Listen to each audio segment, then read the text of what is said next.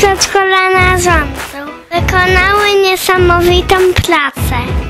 Narysowały wszystkie najważniejsze miejsca Grudziądza.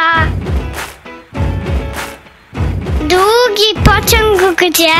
Maszynistą był Robert Malinowski, prezydent naszego Grudziądza. Pociągnął za sobą Spichrza, ratusz i zabytki naszego miasta. Wspaniałą pracę dzieciaki wykonały pod okiem pani Agnieszki.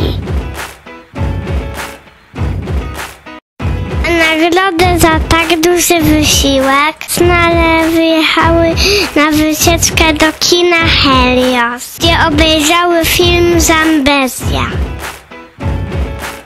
Było super!